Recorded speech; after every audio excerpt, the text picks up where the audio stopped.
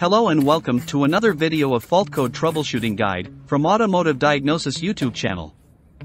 In this video, I will show you how to test and fix mass airflow meter sensor fault codes, which are P0101, P0102, and P0103. Please stay with us until the end of the video, and don't forget to subscribe the channel for more videos. At first, I will show you the MAF sensor wiring diagram, and all possible causes for this fault codes. I will also check the sensor signal in different engine RPM using a scan tool. Then I will check the sensor power supply. Next step would be checking the sensor output signal when engine is running. And I also check the signal circuit. And at the end, I will show you how to test the other wiring of the sensor harness. Let's start. Mass airflow sensor is located right after the air filter and measures the intake airflow. It measures the airflow by measuring how much current is being used by the hot film element to maintain the temperature constant. As airflow keeps cooling down the hot film element. Therefore, the more airflow, the more cooling effect on the MAF sensor, so it must consume more current to stay at the constant temperature. Data from this sensor is one of the important inputs to the ECM to calculate the injection timing. Inside the mass airflow sensor, there are actually two sensors. Mass airflow sensor.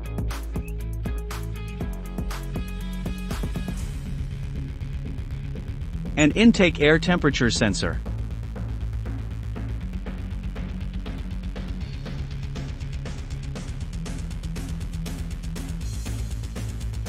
And because most of the time there are 5 wires on this sensor's harness, 3 wires are for the MAF sensor, and 2 others are for the air intake temperature sensor.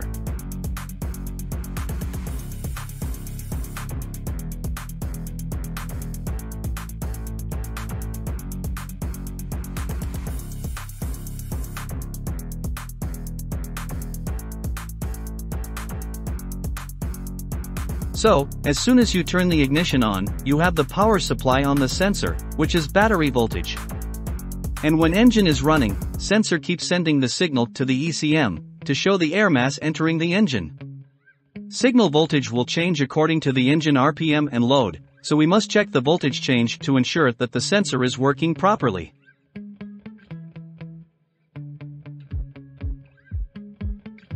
Before I show you how to test the sensor signal change on the scan tool, check here to see how sensor shows the airflow rate when engine is running at idle, at acceleration, and when it is faulty.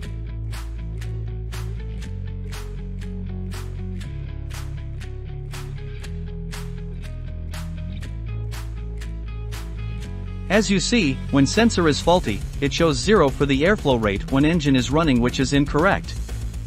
Let's connect the scan tool to see the signal voltage. I connect the scan tool, select the car and model, then in the systems I select the engine.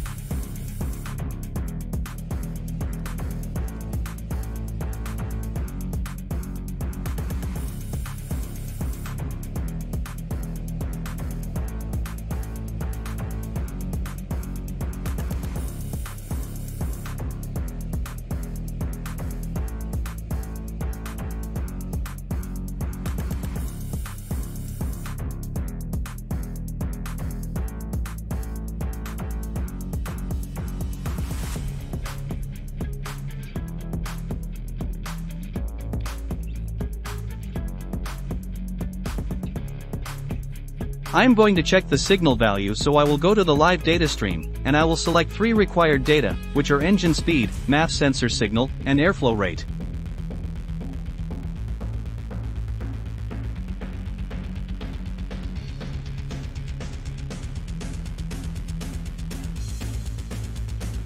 As you see in the workshop manual, sensor voltage must be around 0.4 volt when ignition is on but engine is not running, so this is pretty much what I have. Then I start the engine to check the signal at idle. Workshop manual says that the sensor signal voltage at idle must be between 0.9 to 1.3 volt, so I guess I am getting the same voltage from this sensor at the moment. Let's go to the next step, I am going to check the sensor output voltage at 2500 engine RPM, and according to the workshop manual, I should get between 1.4 to 1.9 volt from the sensor. This sensor is working properly till now.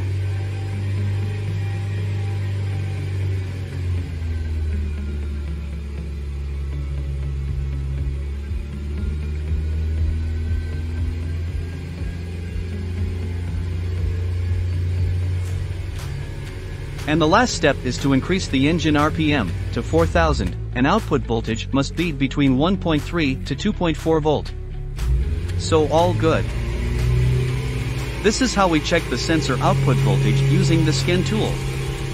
Let's go to the next step. It is not a bad idea to remove the sensor itself and check it visually. We want to make sure that the sensor is not visually damaged and all pins are in good shape.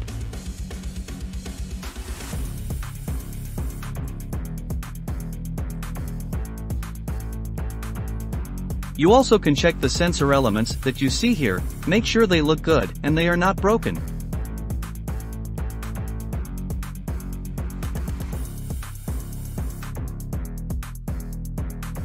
Let's check the sensor power supply.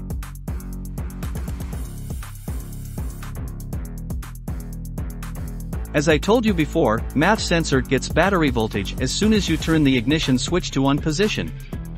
So, find the relevant pin according to your car, and check the power supply using a multimeter as shown here. If voltage is zero or very low, you must check the power circuit wiring.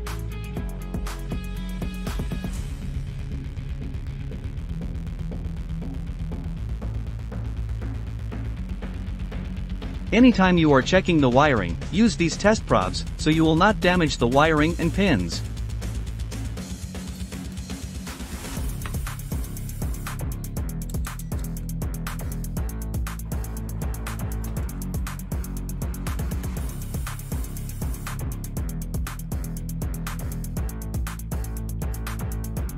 I got the battery voltage here, showing that the power supply is fine.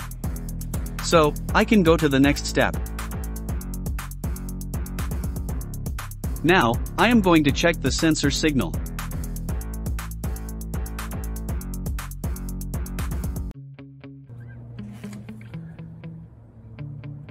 At first, I will check the sensor signal by back probing. I insert the test probe to the signal pin then I start the engine to see what is the sensor output at idle. As you may remember, I should get between 0.9 to 1.3 volt on this car.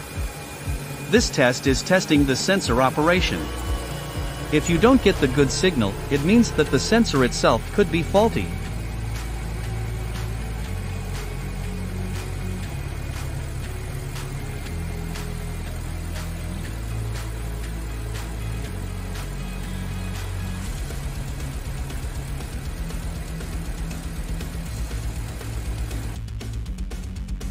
For testing the short to ground on the signal circuit, remove the connector from the sensor and ECM, then check the continuity between the signal circuit and body ground. If continuity is existed, it means that signal circuit is shorted to ground and it must be fixed.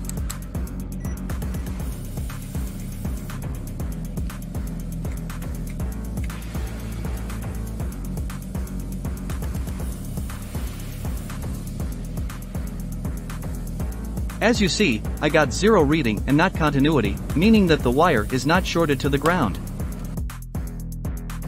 The next step shows you how to check the open circuit on the signal circuit. For doing this, when both ECM and sensor connectors are disconnected, check the continuity between sensor harness connector and ECM harness connector. Continuity must be existed, and resistance must be less than 1 ohm, to show that you do not have an open circuit on the signal line.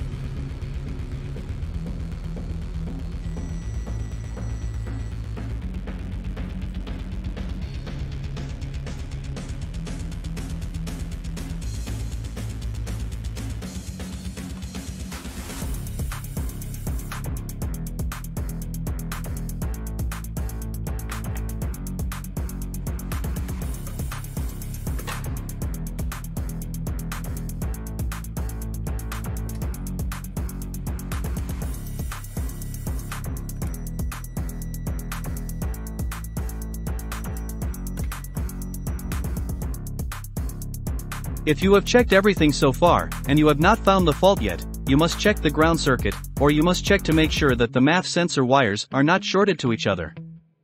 I hope you enjoyed this video and found it helpful. Please don't forget to check and subscribe the channels for more videos.